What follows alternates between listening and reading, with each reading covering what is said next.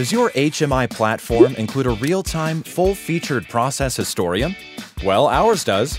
Future-proof your business with the only complete platform solution from Wonderware. This is exactly what you'd expect from the leader in industrial automation software.